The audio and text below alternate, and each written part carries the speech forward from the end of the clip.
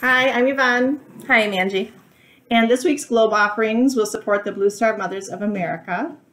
I have uh, my son Alec is currently in the Army, and my son Kian will be starting boot camp for the Marines this summer. My daughter Kayla and her husband Nate are currently serving in the Air Force, and my son John is serving in the Navy. And as military moms, our hearts are torn with pride for the patriotic commitment our child has made to protect the freedoms of those they may not even agree with, and the fear of the dangers, both physically and mentally, that our child will face, both domestically and on foreign lands. We wait, we worry, we watch, and we try not to let our imaginations get the best of us.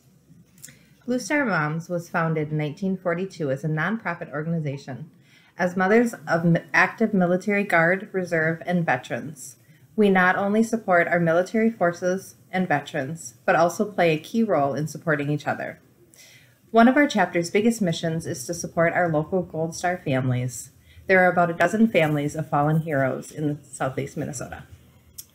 Some of the other programs we can support with your help are Mayo High School's Operation Hometown Gratitude, VA Homes and Hospitals, Wreaths Across America, Dave and its many disabled veterans programs, and helping fund the new Gold Star Family Memorial in Mantorville. Thank you for contributing to the mission of Blue Star Mothers and upholding the memory of the men and women who served our country.